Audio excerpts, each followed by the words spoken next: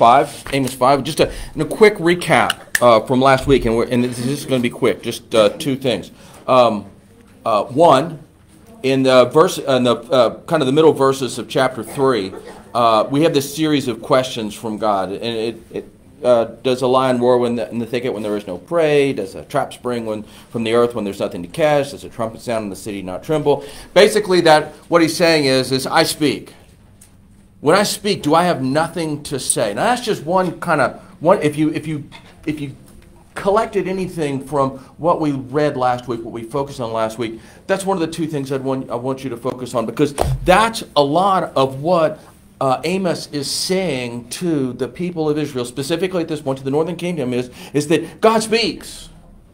And if you are not paying attention, what you are assuming by your, your own actions will testify against you. What you are assuming is, is that he has nothing to say. How many people do you all hear in the din of yak that goes on all the time that you don't care, you don't listen to? There's a lot for me. There's a whole lot. I mean, I listen to a whole lot of stuff, but there's a lot that just doesn't rise to the merit of my attention. And I don't, I don't, I don't pay attention to it because that voice has nothing to say to me. Yeah, that's what we're telling God when God says, I speak. If I speak, do you honestly think I have nothing to say? And then the second piece, and this is the seminal scripture of Amos. I could Maybe I'm thinking about this just through my own set of eyes. I don't think I'm alone in this. This is the seminal scripture of uh, uh, verse, voice from the book of Amos. Prepare to meet your God.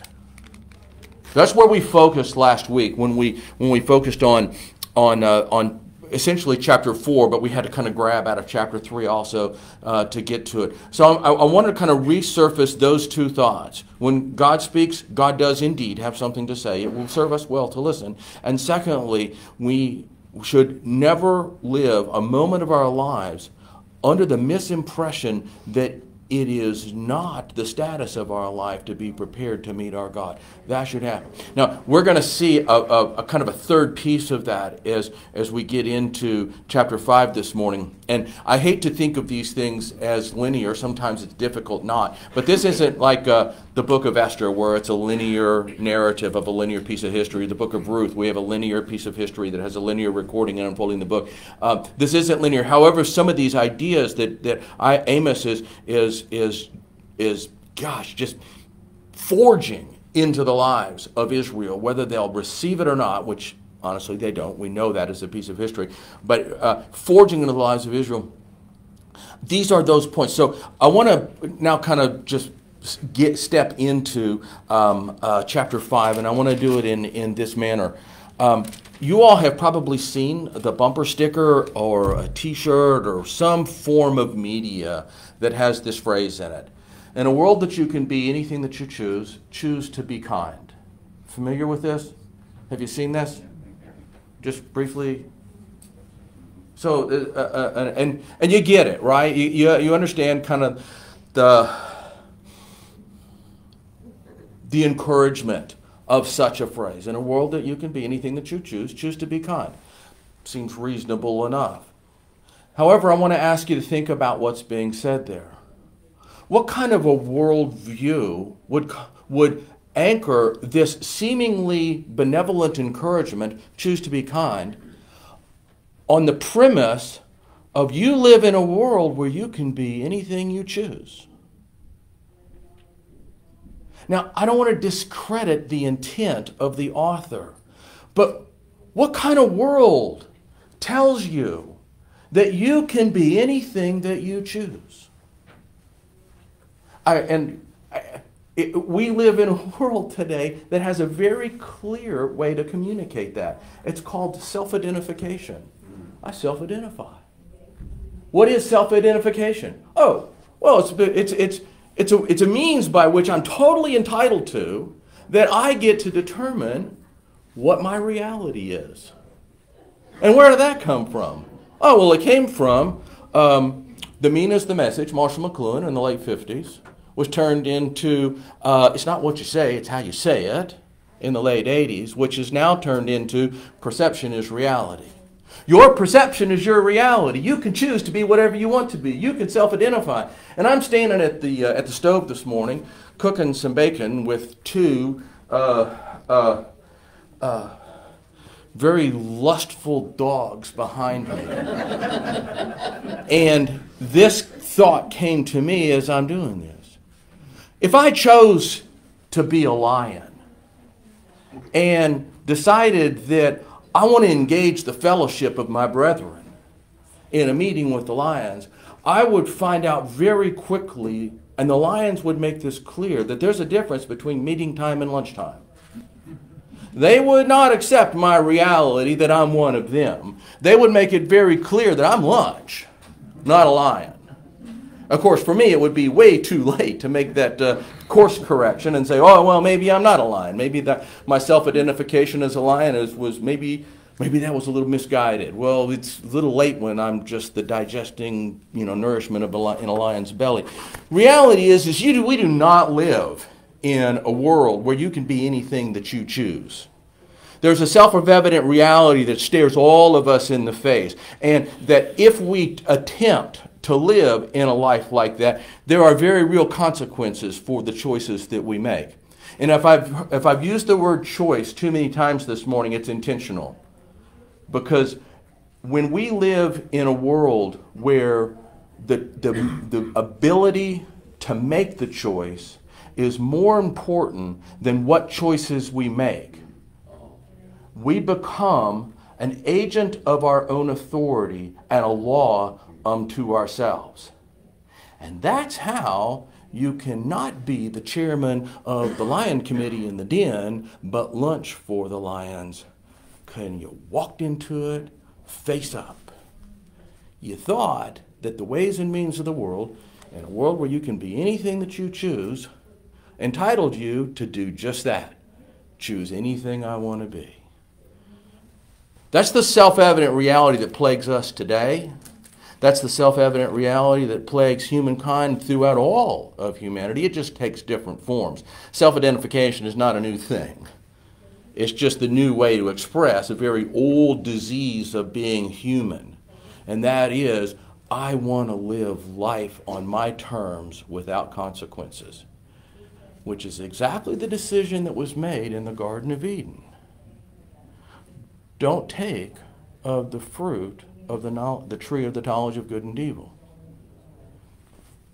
Of what consequence is there? I want to live life on my own terms. I see the fruit. It's good looking fruit. I think it's going to be pretty tasty. And if I eat of it, my eyes will be open and I'll be like God. So, in spite of the fact that the only voice that I've ever heard in my entire existence, the voice of my Creator God, I'm going to listen to one sentence out of a talking snake and decide I'm going to self identify as my own agent, as a free agent, under my own authority, and I'm going to take of the fruit. See, it's not new. It's very old. It's as ancient as, as, as human existence is. And yet, that's where we find ourselves. And if we're not careful, we buy into this idea in a world that you can be anything that you choose, choose to be kind. Uh, be kind. Yes, I mean, any of us are, are promoting the idea of cruelty as the way, the path of life. No, none of us are promoting that idea. Even the anarchists really have a struggle with uh, coming to terms with the idea of the choose to be cruel. None of us choose that. So, this idea of choice in your life, uh, um, uh, just briefly, another, another way that this, this finds its way into our lives. How many women do you hear out there with their little pink hats on screaming, I want the right to choose, kill my baby? None, none of them. What are they saying? A woman's right to choose. That's what they're saying. I want to choose. I want to be able to choose to live my life on my own terms without consequences. That's, you know, but nobody, that's the easy sell. No, you can't sell, uh, you know, I want a right to choose to kill my baby. That doesn't sell very well. But you can sell the idea of choice because that's the world we live in. You're free to choose whatever you want to. Let's get into, uh, let's get into five here. Remember, Eli- uh, Amos has come to them saying that God speaks do not abandon his voice in your life. And secondly, people of Israel, prepare to meet your God. I'm going to let the cat out of the bag real quick on the other end of that.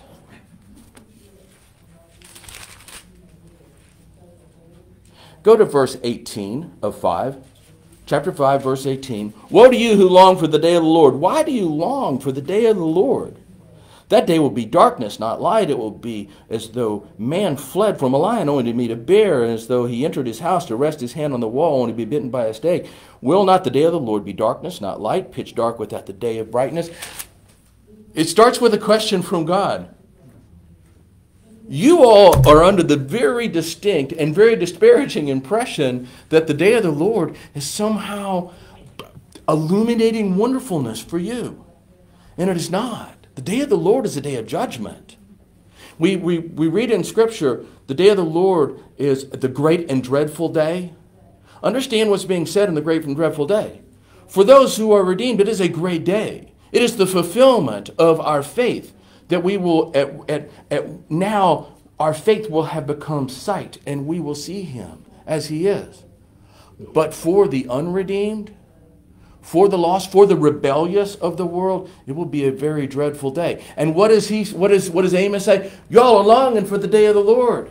It's a great and dreadful day. I got some shocking news for you.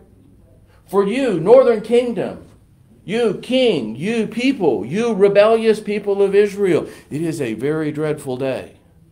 So let's go back and look at what God is saying, because this is a, a as we read in uh, verse 1 Hear, o Lord, uh, hear this word, O house of Israel, this lament I have concerning you. Is a lament?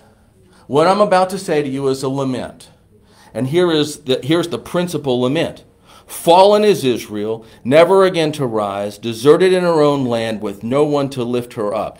If you're familiar with the word Ichabod, you can sum up that whole verse with the word Ichabod.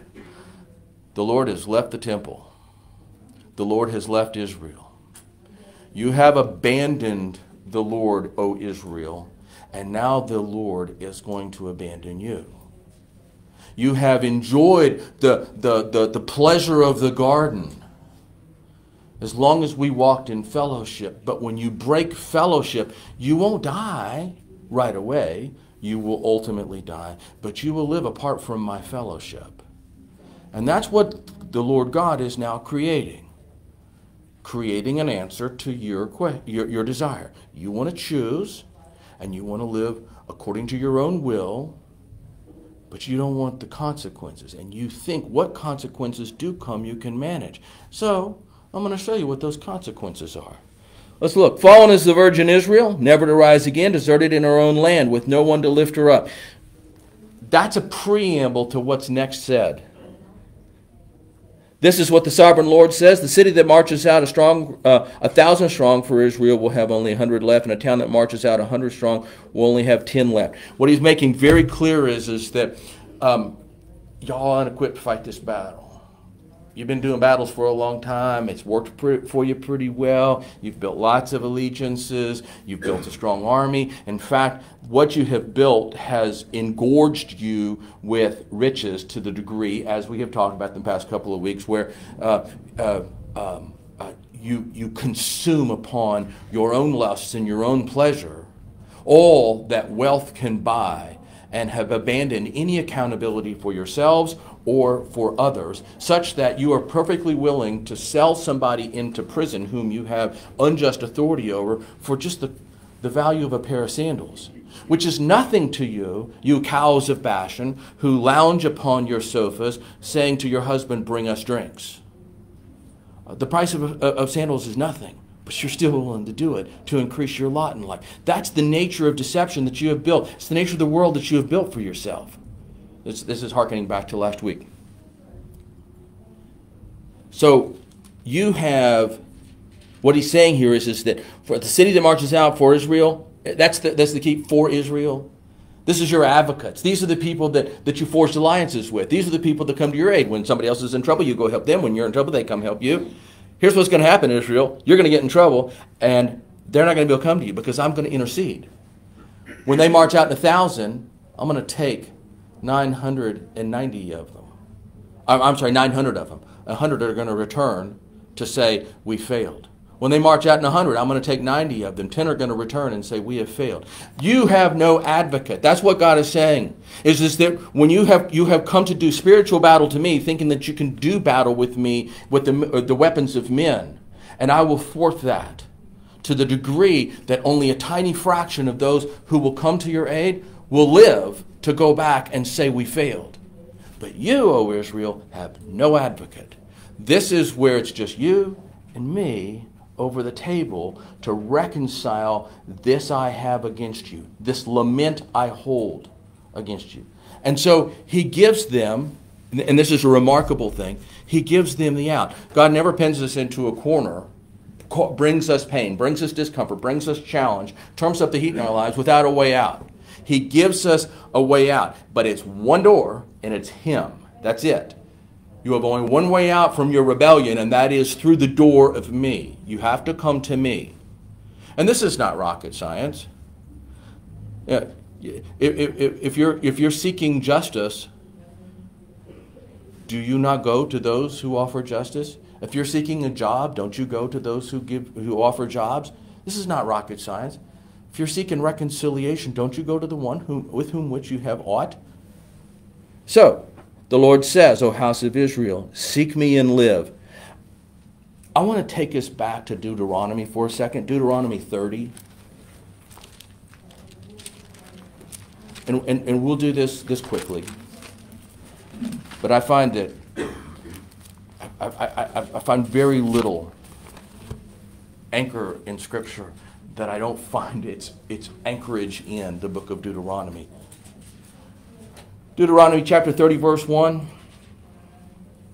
Now, what I'm commanding you, this is Moses speaking. Now, what I'm commanding you today is not too difficult for you uh, or beyond your reach. Uh, first thing, it, this, this is exactly what Amos is saying to Israel. If This is not too hard for you to get. Uh, I'm sorry, what God is saying through Amos to Israel. So this is God speaking to, to Israel in Amos.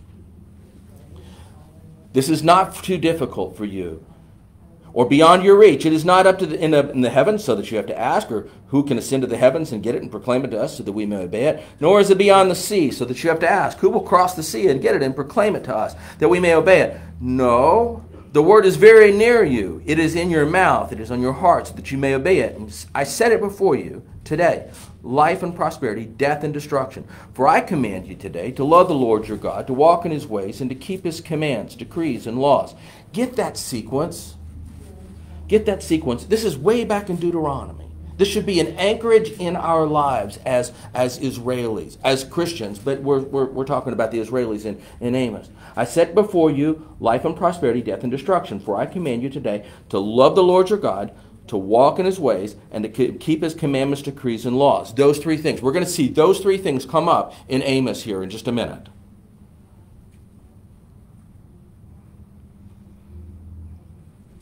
And then you will live and increase, and the Lord your God will bless you. I'm sorry?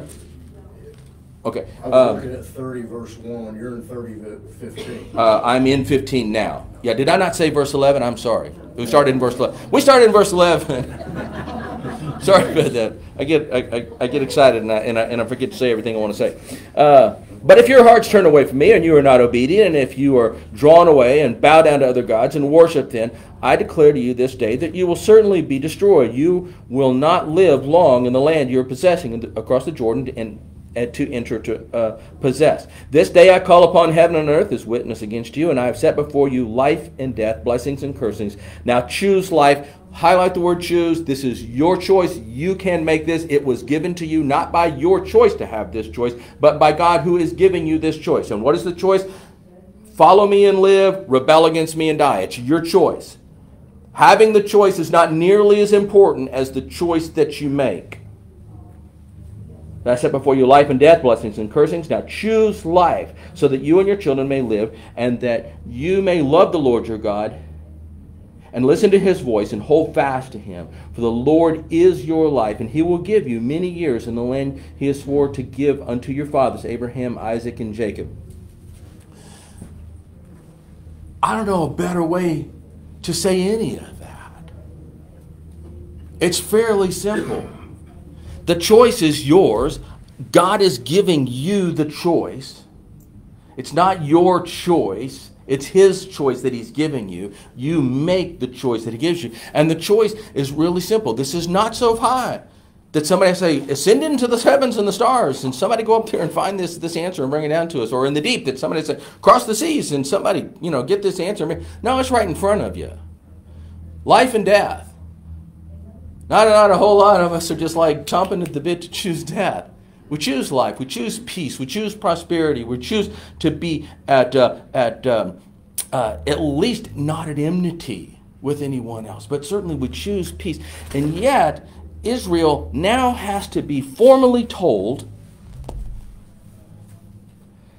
in back to uh, Amos 5, verse 5, and please, please, please do. It, It's really easy for us. This is why I started the way I did. It's really easy for us to say, uh, you know, stupid Israelis. I mean, how, in the, how, how, how can you not get this? How can you not understand this?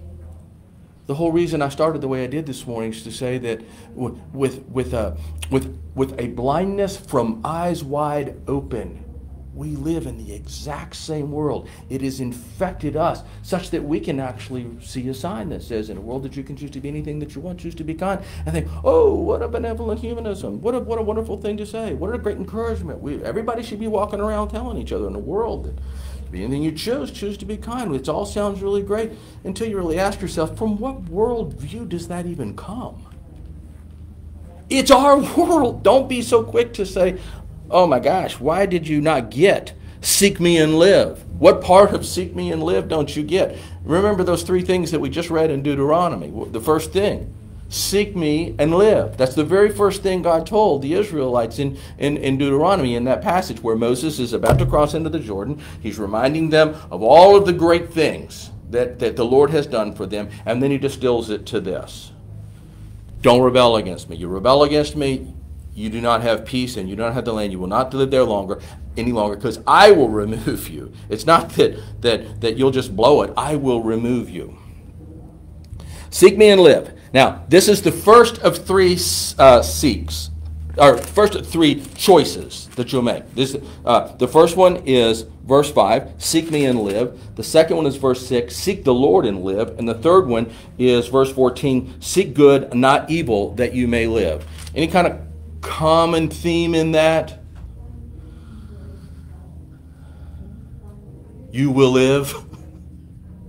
Seek me, seek the Lord, seek good, not evil, and you will live, you will live, you will live. If you want to live, if you want to live at peace, if you want to live and, and, and know that he's not just talking about, and if you don't, you die today, it's that you, you will live eternally. That's the great gift. The great gift is not that you live today. Remember, death is a gift. It is the only means by which this barrier between us and God can be bridged. He gave it to us as a, as a path home. It is a means, but it's the means by which God gave us a way home. Seek me and live is not just live today, it's live eternally. So hear what he has to say. Don't, um, and the first one is a prohibition. Seek me and live. Do not go to seek Bethel. Don't go to Gilgal. Don't journey down to Beersheba. For Gilgal will surely go into exile, and Bethel will be reduced to nothing. Now you notice that they didn't say anything about Beersheba. So this is God speaking. God's listed three kind of communities that he says don't go to. It's probably worth asking. What's he talking about? What he's talking about. Uh, Bethel, you got one on that? Why would God say don't go to Bethel? Calf. This is northern kingdom. Bethel and Dan. Those are the two locations that Jeroboam placed the two golden calves and said, Here's your Lord, here's your Savior. This is the one who brought you up out of Egypt. You don't have to go down there to uh, uh, Jerusalem with the, those, those, those hicks in the south. Uh, and go to the temple of Jerusalem. I got a handle on it for you. Here we got we got cows here. You can go to Bethel or Dan. Bethel. Don't go to Dan, don't go to Bethel. That's what he's talking about. Don't go to this pollution of the uh, of the self revelation that I gave you, that you made of the self revelation that I gave you. You, I gave you a self revelation of me. You polluted it. You turned it into golden calf. You put one of these two. This is all a part of that manufactured religion. If you remember when we talked about this.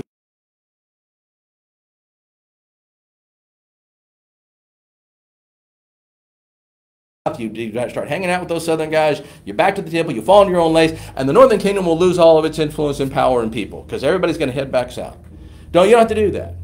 Don't go to Bethel. Don't go back to the pollution of my self revelation that you created. And then he says, Gilgal. Don't go to Gilgal.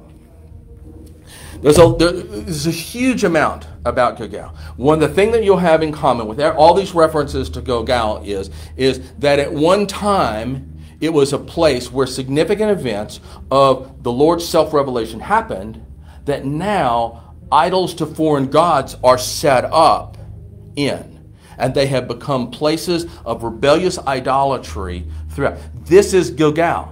All of these great things that happened there, you've expunged from your minds, and instead you've set up temples to your, the, your manufactured gods. So, first, don't go to this place of my self revelation revealed to you specifically, and that you replaced it with your own creation. And do not go to the foreign the sites of the foreign gods. Don't go there either, because you will not. Remember what, all this is under the under the uh, the construct of. You don't have any advocates. Your first, your first thought of your advocates is the other nations that you made treaties with. So when you're in trouble, they'll come to your eyes. You know, that's not the battle we're fighting. Quite frankly, we're fighting a battle of the Spirit between you, Israel, and me. So when we fight a battle of the Spirit, you're gonna you're gonna turn. Don't turn to Beersheba. Don't turn to Gilgal. Don't turn to Bethel. And then Beersheba, that's uh, that was where uh, um, uh, Abraham uh, had. Uh, um, gosh, Forgive, uh, forgive me. That, that, was a significant event in Abraham's life, and it's just skipped my mind. Bottom line is, Beersheba was a pilgrimage city because of this event in Abraham's life, which has just skipped my mind. But it was a pilgrimage city. Don't think that, that appeasing me, finding peace with me, communicating with me, or for that matter, doing battle with me, is, is, is related to geography. Remember, we talked last week for a minute. The, the uh, Samaritan woman at the well, her position about truly worshiping God was a position of geography. Here in Samaria by Jacob's well, which is what our fathers tell us for. The authentication is our father. The worship is at, at, this in this piece of geography. Jesus says no, it's neither in the south nor in the north, but it's in worship in spirit and truth. That's what the Father is asking for. Beersheba was one of those places where geography controlled the idea of what it meant to, to communicate with God. So it's not geography. It is not your uh, uh, your uh, manufactured gods, and it is not the gods of this world to turn. Seek me and live.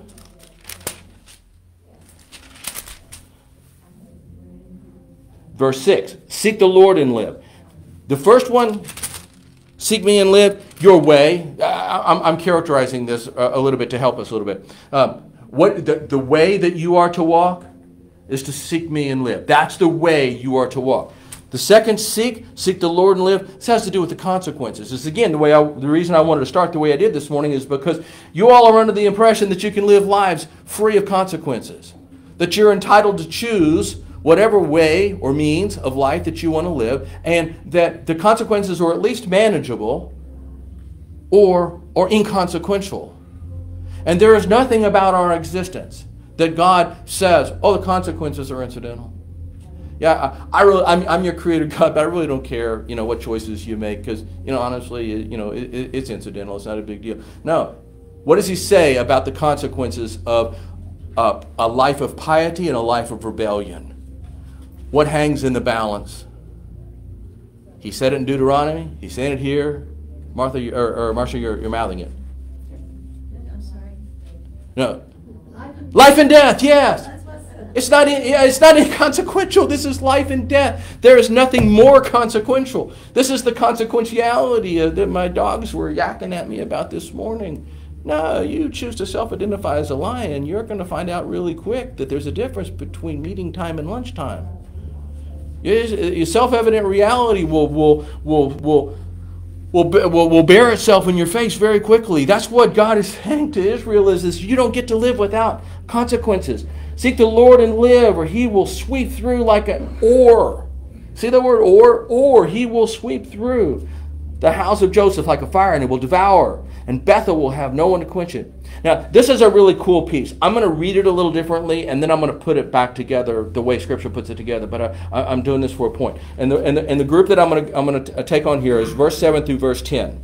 And so this is how I'm going to do it. Verse 7 and 10 I'm going to put together, and then 8 and 9 I'm going to put after that. So this is what I'm going to read it. You turned uh, justice into bitterness and cast righteousness to the ground. You hate the one who reproves in court and despise him who tells you the truth. Now, the reason I do that is because those are the two verses of you. This is how you see the world. O Israel, O fallen Israel, with no advocate, fighting a battle that you have no idea how to fight that you turn justice into bitterness and cast righteousness to the ground. You hate the one who reproves in court and despise he, him who tells the truth. The nature of your existence is, is that you want your life by your choice on your means of this uh, kind of Frank Sinatra idea I did it my way, unconsequentially. And you hate people to step into your life and tell you the truth. That rubs you the wrong way. The truth is not what you want to hear. What you want to hear is that you get to choose. You get to live whatever life you want, and you're not accountable for it. But then the voice of accountability steps in, and that's what's sandwiched between these two. So let's read it in its in its in the way that Scripture orders it. You who turn justice into bitterness and cast righteousness to the ground he who made the Pleiades and Orion, who turns blackness into dawn and darkness into uh, night, who calls the waters of the sea and pours them out over the face of the land. The Lord is his name, and he flashes destruction on the stronghold, and he brings the fortified city to a ruin. I gotta finish. Sorry. You hate the one who reproves in court, and you despise him that tells you the truth. That's what that's what he's saying. That's that's why it's ordered this way. I needed to read it uh, with uh, seven and ten to get kind of my side what God is telling me, and then hear what He says in between. But I, I want to keep it in the in the in the order that Scripture offers it, and that is that uh, you who turn justice into bitterness and cast righteousness to the ground. Here's what you're facing: the one who made the Pleiades and the Orion, who turned blackness into the, the, the, all of the stars of the heavens. These, those two are, are anchors because I won't go into it, but they're gravitationally bound constellations. There, there's a kind of uniqueness in those two, uh, but we, we won't go into that. But the God who made those, the God who turns blackness into dawn, the, the, the and uh, I'm sorry, darkness into uh, uh day into night, who calls uh, those who, who, I mean, who orders your day? All he's saying is his sunrise and sunset. You take it for granted, Israel, but your sunrise and your sun, sunset, that's me at work. That one whom you hate that tells you the truth, that's me at work. That's true. You take it for granted every day. You think it's, it's, it's an irrelevancy. Can you, can you even begin to list the ways that your life would be different if there wasn't a solar cycle on this planet? If it was always day or always night? Who does that? This was the, this, my mind goes into to crazy things. And, and a couple of days ago, I was reading this and I'm saying, well, exactly what does make the Earth rotate on its axis? What's the fuel? What's the power that makes the Earth rotate on its axis? It's been rotating on its axis ever since it was formed. So, what keeps that rotation going? And I saw, I did a lot of research on it, and I read lots and lots and lots of tracks, and the reality of it is nobody knows. Everybody's got a lot of theories about it, but nobody knows. It, it, it, it, ranges from it's always been that way, so that's the way it does. This is this is science too. This is the, these are the great uh, intellectual minds of our of our time. They're saying that it's always been that way, and there's no no resistance of force in the universe, and so uh, it just since it's always been rotating, it just continues rotating. It doesn't have to have any fuel. And another one says, oh no no, it's the iron molten core. The iron molten core is constantly rotating, and every about a million and a half years or so, it starts rotating in the opposite directions. When that happens, hurricanes happen, and tidal waves happen, and tsunamis happen, and the Earth's destroyed, and every, uh, life starts all over again on this yeah, you, you know, you, you get into to science, and as soon as you start grabbing a thousand years, ten thousand years, a millennia, ten million years, 150 billion years, you know, credibility starts dropping through the bottom. Nobody knows. But God's saying, sunrise and sunset, that's my hand at work. You take it for granted every day. You think it doesn't make any difference. You think it's you think you're entitled to it. You who turn justice into bitterness and cast righteousness to the ground. Where did your justice come from? Me. I revealed myself to you and I revealed my law to you and I called you to live within my wall. And it was done for your good. Remember, the Ten Commandments are not prohibitions, they're preservation. This is for your good. I give you this law to live by for your benefit. The Lord is his name. He flashes destruction upon the stronghold. He brings down the fortified city to ruin. Look, if I can walk on water, if I can make it, if I can turn it into wine, I can certainly tear down your cities. It's not a big issue. When you do battle with me, you think you're doing battle with swords of men, and you're not. It's a spiritual battle. But I'll reveal myself in a way that you can understand it. All those uh, uh, uh allied cities and nations that you form with, no, I'll crush them. It's what I said in the first one. They're going to march out in thousands, and only hundreds are going home. They're going to march out in hundreds and only tens are going home. They're not going to come to your aid. You don't have any advocate. The consequences of the way you live your life, the decisions that you make, the choices that you make, you are accountable to me, which is really going to be the third one that we get into here in just a second. You trample the poor and you force him to give you grain. It, uh, give you grain. Essentially, what that is is grain tax. It's not just grain. You you uh, you force him to give you, who are wealthy, tax on the meager sustenance that sustains life for them. This is how you eke from the poor. This is your disregard for other human beings. Therefore, you have built stone mansions, but you're not going to live in them. And you thought you planted, yes, lush vineyards, but you're not going to drink from the wine. For I know how many are your offenses and how great are your sins. You oppress the righteous and you take bribes and you deprive the poor of justice and the course. This is like one of the multiple times we keep hearing this issue of justice come up. Therefore, the prudent man keeps quiet in such times, uh, for the times are evil. And this is kind of a tough one. Therefore, the prudent man keeps uh, quiet in these evil times. Now, in one sense, we'd say, well, is aren't you supposed to take a stand in in in times of injustice where you see injustice? Aren't you supposed to take take a stand? And what God is saying here is that the world that you all have created in this kingdom is so oppressive and so abusive and so devoid of any rationale that right has been called and wrong has been called right, that good and evil have been inverted. You have no distinction between the sacred and the profane. Your lives are so inverted that the one prudent man, the one who might uh, tell you the truth, he will hold his tongue because it will be, as Christ described, and, and I'm making a, a New Testament connection here, uh, as casting pearls before swine. He's going to hold his tongue because you have no capacity to even understand what he will tell you. He will tell you that no, you don't have a right to kill your children. But that's not going to make any sense to him. Well, of course I have a right to kill my children. It says so right there in the Constitution. Because that's where my rights come from. It's in the Bill of Rights in the Constitution. I got a, I got a right to. Of course, yeah. No, it doesn't. But that doesn't make any difference. It makes no sense. Oh, sure, you can just choose to be whatever you want to be. Self-identify. Go at it. The consequences will prove you a liar, but it doesn't make any sense. The prudent will not even not even raise his voice in opposition any longer. It is it is without without merit. Now we're we are not going to go where our book has us next week uh, because I'm going to I'm going to turn to focus, but as a as a kind of preview of things to come. Where we're going to focus is uh, chapter eight, verse eleven. The days are coming, declares the sovereign Lord, when I will send a famine throughout the land, not a famine for food or thirst or water, but a famine for the hearing of the words of the Lord. Men will stagger from sea to sea and wander from north to east, searching for a word from the Lord, but they will not find it.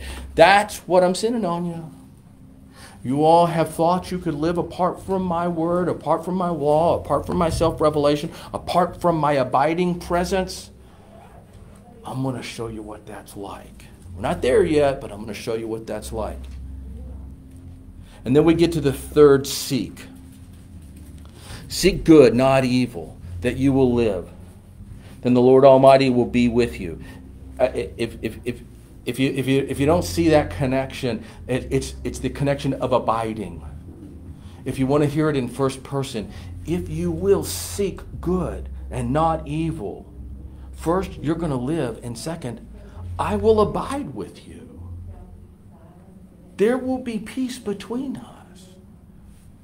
All of the, the, the, the, the great things that I have done for the nation that I created out of one man, Abraham, and cultivated and shaped and blessed and grew up into this nation that you take all the credit for now, I will again abide with you. And this is the killer. Just as you say he did. Now that's that's that's putting it in second person. The Lord Almighty will will will be with you just as you say he is. You hear what he's saying? You say, hey, look, the the sanctuary is full, the offering plates are overflowing, and the the church is building a new uh, a new family life center. Surely the Lord is with us.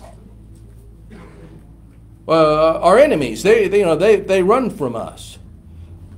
Neighboring nations, they pay tribute to us.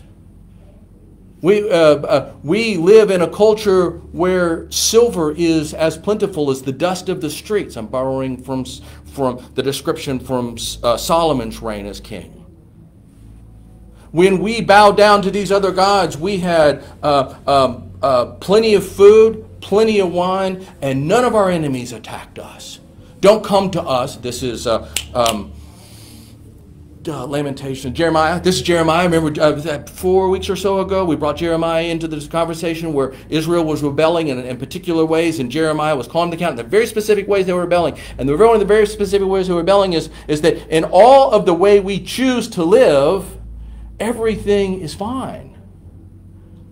Don't come at us with this yak about us violating the, the, the, will of the Lord when look at my wallet, look at my mansion, look at my vineyard. Things are going pretty well. What God say? Therefore you have built stone mansions and will not live in them. Though you have planted lush vineyards, you will not drink from them. Everything that you think that, that is an indicator that God is with you is not an indicator that God is with you. It's an indicator of your own self absorption. This is why he says, Then the Lord Almighty will be with you just as you say he is. You say he is, but he is not. That's why all of this is being said. You have inverted right and wrong and good and evil and sacred and profane to such a degree that you don't know which way is up anymore. And the biggest problem is, is not that you don't know, it's that you don't know you don't know. You think the way you live is pleasing to the Lord, and yet it is your bending destruction. So, seek good, not evil, that you may live. Then the Lord Almighty will be with you. You'll actually know the abiding presence of God if you will do this. Then you, you, you hear this from, uh, from Job. It was the characterization of Job hate evil and love good. That, that the, the, the, the, characterization that God proclaimed upon Job before anything happened was the nature of Job is a man who loved God and shunned evil. That was the characterization that God gave Job. That's what that thank you. That's the characterization God's given us. We're going to move quickly here. I hate, uh, hate evil, love good, maintain justice in the courts. Perhaps the Lord Almighty, uh, Lord God Almighty, will have mercy on you and a remnant of Joseph. What He's doing is giving you that way out. Seek me, and you'll live. Seek the Lord, meaning the, the, the, the, consequences of living the way the Lord, that's what we've, we've been unfolded here. It's consequences the way the Lord has led us, and you will live and see good. This is where the rubber meets the road. Speaking spiritually, seek Him effectively in your life. Seek good, not evil. Administer justice in your course. Therefore, this is what the Lord God Almighty says There will be a wailing in all the streets and cries of anguish in every public square. The farmers will be summoned to weep. The mourners will wail. There will be wailing in all the vineyards when I pass through in your midst, meaning this, the, the sweeping hand of the door of the Lord is coming in destruction. Woe to you who long for the day of the Lord. This is where we, this is one of those bookends we started with. Woe to you who uh, long for the day of the Lord. That day will be as darkness, not light. It will be uh, as though man fled from a lion only to be met by a bear. That's almost a, a humorous uh, uh, uh, image to, to put in your head. Uh, or a man will run into his house to, to rest on the wall, and a snake will bite his hand. That day will of the Lord is darkness, not light, pitch dark, not uh, without a ray of uh, dry, uh, brightness. Now he'll go on here, and we do, we just have to, to, to close here. I'm sorry that he'll go on, but he'll go on here with this Isaiah one type um, definition of the invented worship you have. I hate you have created these, these, this noise of your song and the music of your harps. And, and he gets to this point. Now, this is the one that, that most people know from Amos. Let justice roll like a river and righteousness ne- uh, a never failing stream. What is what I mean? c- Clearly, after seek me and live, seek me and live, seek good, not evil, and live. The nature of your lives should be marked by personal righteousness, and from that righteousness, justice in the land.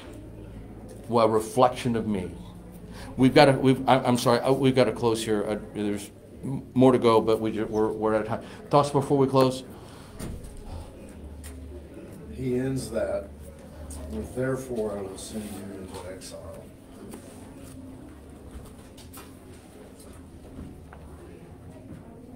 You made your choice. Yeah, you, you, you you made your, okay, yeah, I didn't know if you were, were gonna, you made your choice. yeah. Because you won't, I'll send you to exile. Now, there's always a remnant, as, as, as we know, there is always a remnant. Uh, he has told them that there'll be a remnant. Uh, it- but if, if, it, it is for those who choose and are, are abiding in the consequences of those choices. Uh, any other thoughts before we close? I'm I sorry, no, we're pushing. It also shows the power of materialism and contentment in that, and how that will pull you away. Yeah, the deceptive power. Very good. Very good. The deceptive power of materialism and self contentment blinds blinds you, Yes. dissuades you from even processing the distinction between the sacred and the profane any longer. That's that. I so appreciate that. Other thoughts before we close this morning? Jock, could you close us in prayer this morning? Heavenly Father, thank you for this day. Thank you for the opportunity in this class. We uh, thank you for Todd. We uh, we um, seek to seek you, Lord, and uh, we need to be reminded of that constantly, Lord. That uh, there's nothing greater to do than to seek you in our lives and seek you in everything that we do, Lord. We just pray that we'll obey you. We pray that other people will see us doing that, that they will have discernment and decide to seek you as well, Lord. We pray that you'll be with us this week, Lord. And again, we uh, pray that we, will, that we will be, that we will obey you in everything that we do this week. In Jesus' name I pray. Amen.